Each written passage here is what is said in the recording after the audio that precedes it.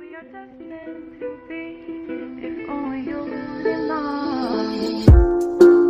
don't have to be alone again, could I?